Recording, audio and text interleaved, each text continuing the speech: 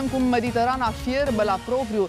Este cod roșu de caniculă, iar apa mării ajunge la numai puțin de 31 de grade Celsius. Aerul este irrespirabil în multe țări. Uh, turiștii români care deja au plecat din țară în destinațiile preferate de vacanță s-au confruntat cu valurile de căldură insuportabilă. Corespondentul la Antena 3 CNN Nati Badea vine cu mai multe informații. Bună ziua, Nati! Văd că te simți bine, te-ai adaptat, te-ai îmbrăcat în alb să nu uh, te afecteze arșița.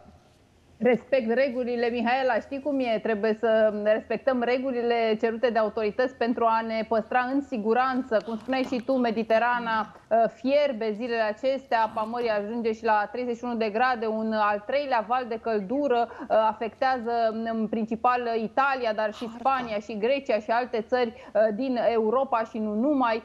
Acest val de căldură a fost provocat de anticiclonul african Caronte. În Italia se se vor înregistra de astăzi, începând uh, temperaturi uh, record. Vorbim în insulele Sicilia și Sardinia de temperaturi care pot ajunge până la 48, chiar 49 de grade, spun meteorologii, astfel încât se va doborâ recordul înregistrat tot în Italia, recordul de temperaturi din Europa înregistrat în iunie 2021. Pe de altă parte, la Roma și în alte orașe istorice se așteaptă iarăși temperaturi care nu au fost niciodată înregistrate aici. Vorbim de 43 de grade se așteaptă la Roma, de aceea ministrul culturii și ministrul sănătății autorității din Italia au pus uh, la punct un plan de măsuri pentru a monitoriza parcurile și monumentele istorice din aceste orașe care în acest moment sunt foarte aglomerate de turiști, uh, totul păi- pentru a uh, le asigura condiții cât mai bune. Asta pentru că turiștii cu siguranță vor merge chiar și în timpul prânzului să viziteze obiectivele turistice. Așadar, o săptămână de foc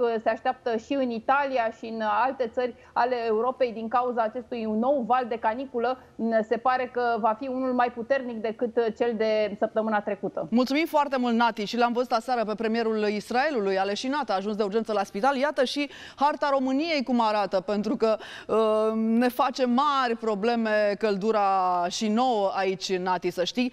41 de grade temperatură resimțită la această oră în Giurgiu, în turnul Măgurele, Calafat, Bechet, uh, Băile Herculane, Banloc, 40 de grade resimțite în București. Este informația momentului, doamne și domnilor, la fel în Timișoara și în Alexandria. Jumătate de țară se află sub cod uh, portocaliu de caniculă.